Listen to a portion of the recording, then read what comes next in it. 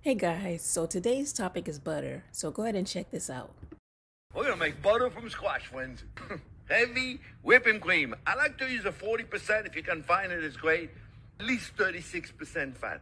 Fatter it is, better it is. I'm gonna make a half a pound really quick so the video is not too long. We're gonna uh, whip it and uh, we're gonna separate the cream from the buttermilk. My mom used to do that, my grandmother used to do that, but they used the churning, they did it by hand. Okay, friends, about three minutes went by. I want you to pay attention.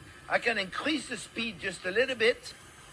And if I wanted to make a beautiful whipped cream, I would probably stop now. All right, friends, when you see it getting powdery, it's starting to get a little bit of uh, yellowish in it. And when it starts to getting powdery, you can't be anywhere else. You got to stay with it. We probably are about five, six minutes so far. And it's stuck on the side of it and I don't, it's not butter yet, so I'm gonna put it back in there, okay? You'll know when it's about to separate, friends, because you can start to see the buttermilk. You see the buttermilk in the bottom?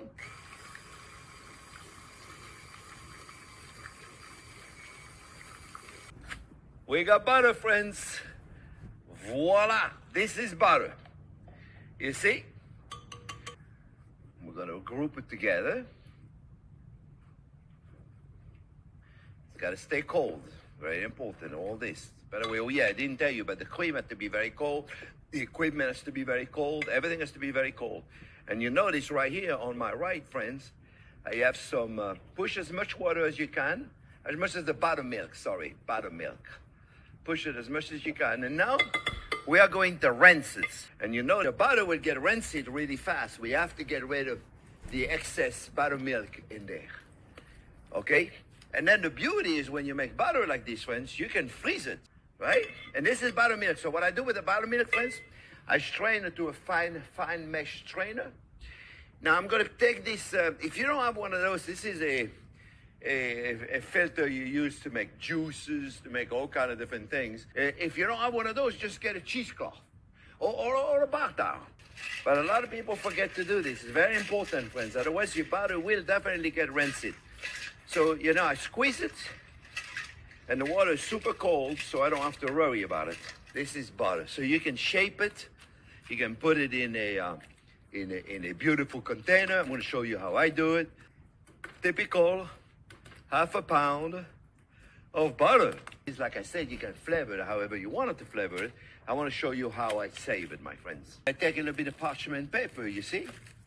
And I put it right in here. This is another half a pound. So now I have a pound of butter.